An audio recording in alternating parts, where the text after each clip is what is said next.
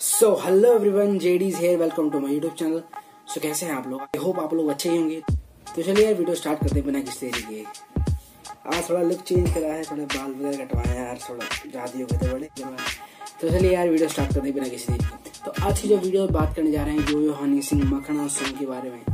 इसके ऊपर मैं पहले वीडियो बना चुका हूँ। आज हम मैं बात करने की मखना सॉन्ग में बादशाह का क्या रिएक्शन था। तो चलिए बात करते हैं। जैसे आपको है यो हनी सिंह का कम बैक सॉन्ग चार साल के बाद जो मखना सॉन्ग आ चुका है वो बहुत ही तेज़ी से वायरल हो रहा है, बहुत ही तेज़ी से बहुत सारे रिकॉर्ड दे रहे हैं। सबसे पहले से बात करें very fast one million like वो फास्ट फास्ट दो घंटे के अंदर वन मिलियन व्यूज़ हासिल गए और उसके बाद दस मिलियन फिर बीस मिलियन फिर तीस मिलियन और अब अगर बात कर जाए करी जाए रियल टाइम की तो अभी तक इकतालीस मिलियन प्लस व्यूज़ हासिल कर चुका है मखना सॉन्ग तो जैसे कि इसी इसी के बारे में कुछ जैसे कि बादशाह से पूछा गया कि हाल ही में कि आपको इस सॉन्ग पे क्या कहना है? तो बादशाह ने कुछ ऐसा रिएक्शन देते हुए कहा है कि बादशाह ने कहा है कि मेरी इंडस्ट्री बड़ी है, यहाँ पे सभी का वेलकम है और सब आएँगे तो सब मिलकर काम करेंगे।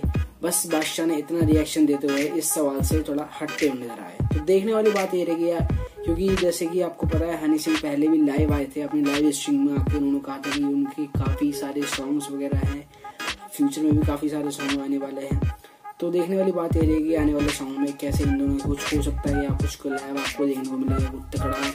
दोबारा देखने को मिलेगी, माफिया मुंडेर की बात में तो यार, ये ऐसी वीडियो इसी तरह की लेटेस्ट वीडियो पाने के लिए हमारे जुड़े रहिए। तो कमेंट करके बताइए कि आपको क्या लगता है बादशाह सिंह के बारे में। तो thank you so much keep supporting keep please